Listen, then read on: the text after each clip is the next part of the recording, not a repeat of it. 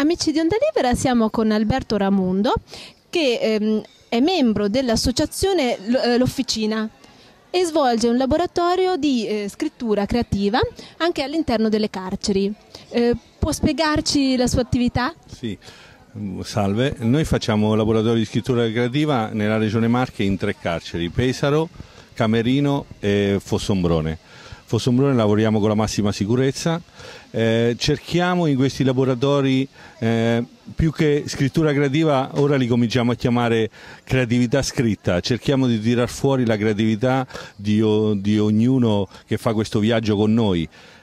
Ripeto, lo fa con noi, nel senso siamo insieme a loro, discutiamo, scriviamo, ci mettiamo in gioco in qualsiasi momento noi e le persone che fanno con noi il laboratorio nelle carceri alla fine di, del percorso di laboratorio di scrittura creativa che dura circa otto mesi, eh, ogni volta noi pubblichiamo un libro che viene distribuito in tutta Italia nelle librerie e questa è, è la, fine, la fine bella di un percorso fatto insieme a loro. Ogni volta c'è un titolo perché ogni, ogni anno c'è un tema. L'ultimo uscito eh, si intitolava Lettere, parole da dentro.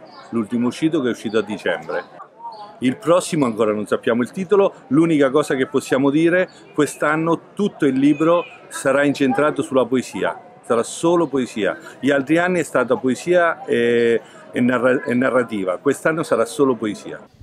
E di solito sono i detenuti a scegliere di fare questa attività? Sì, assolutamente sì, non sarebbe creatività se noi imponiamo eh, di, di farla e proprio per questo mi farebbe piacere che uno di noi, perché uno di noi eh, ci dice due parole.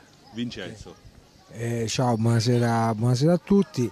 Eh, sono Vincenzo, sono ospite della casa circondariale Villa Fastiggi di Pesaro.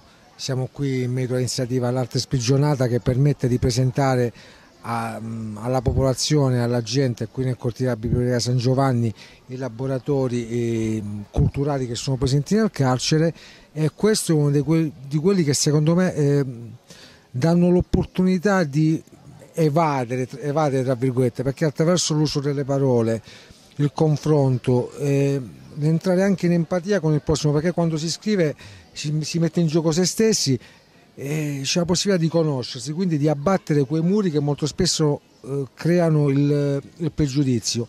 L'importante poi c'è il fatto che nel nostro istituto, qui a Pesaro, anche il reparto femminile ha l'opportunità di partecipare a questi, a questi laboratori, quindi c'è proprio un, un incontro, un, la costruzione di, di un ponte che, che, veramente va oltre quelle che sono le condizioni di, di privazione della libertà che in questo momento ognuno di noi nella propria consapevolezza eh, dell'errore commesso in un percorso veramente di rivisitazione della propria esistenza eh, sta facendo. La prova ti permette anche di capire e di distinguere quello che è l'uomo e quello che è l'errore.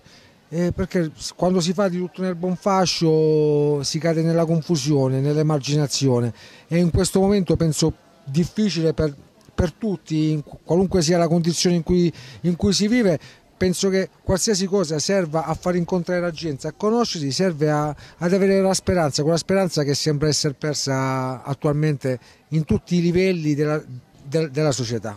Grazie. Grazie.